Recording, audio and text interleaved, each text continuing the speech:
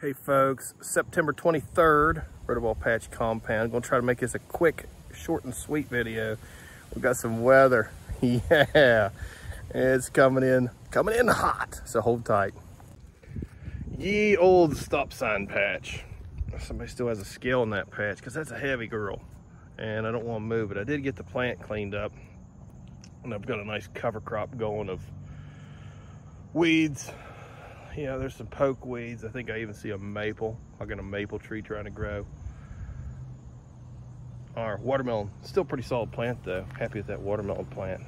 And the watermelon that she's hooked to, or hooked to her, whatever you want to say, she's wonderful. Got an OTT on this gal. She's DEP 88 or 95 or something. She's old. Meemaw watermelon is what we're looking at here. Eh, just a nice, good, symmetrical fruit. Kind of blocky. Not sunk in. Relatively flat on top. And just a good fat parallel melon. OTT has her at 200 pounds. And that's potentially that's that's a West Virginia state record on OTT. Now this girl's not on a scale, so I know not to get too excited. Cool it, Doc. Melons go light, melons go heavy, melons go chart. And I hope that this gal at least gives me chart. The plant itself's okay. And it just has to be okay at this point. We're starting to get a little bit cold here. So I got that fan off there and I'm just gonna let it continue to be her and pull off any calls when I can find them come out here and tell her, keep up a good work, sweetheart. Please be heavy. Please don't be painfully light. I'm not going to pre-weigh, guys. I want this one to be an exciting melon for, for me when it hits the scale finally. So you're to see raw emotion of happiness or despair and sadness. All right, let's go look at some pumpkins. Oh, the main patch.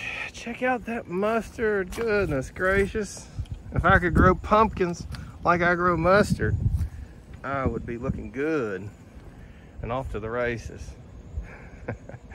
all right, so our main plant, the 1965 Rodebaugh, we have some leaves. This is all, all new foliage down through here. And I like the collar. It looks good and I'm letting it grow into the mustard. I've got a lot of growing tips, probably more than I should. I'm kind of letting it grow wild at this point because we're very end of season.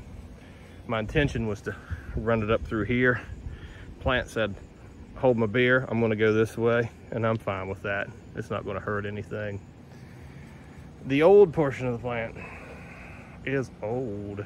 Oof, oof, oof. It's all right. September 23rd, what do you expect? These leaves they're old. They're going to look like crap. Some of them are going to die over. Maybe I'll pick them off and leave them lay in the patch. Maybe I'll pull them out of the patch, but they do get picked off. Or at least broken down to where water and gunk can't sit there and have issues with vines.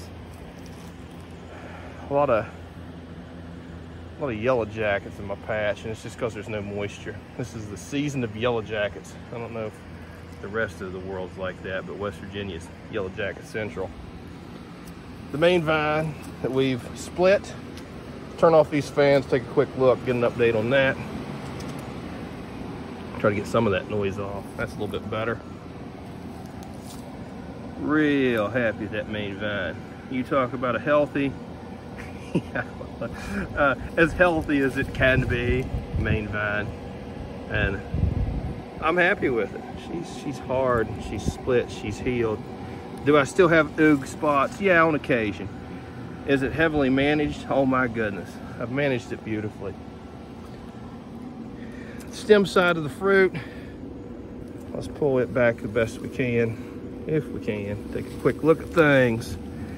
Our stem, she's a good stem. Cracking and checking around it to be expected. It's healing nicely.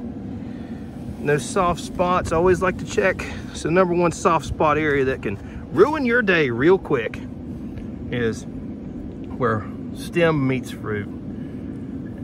So always check your full perimeter every day. Make sure it looks good. And mine does.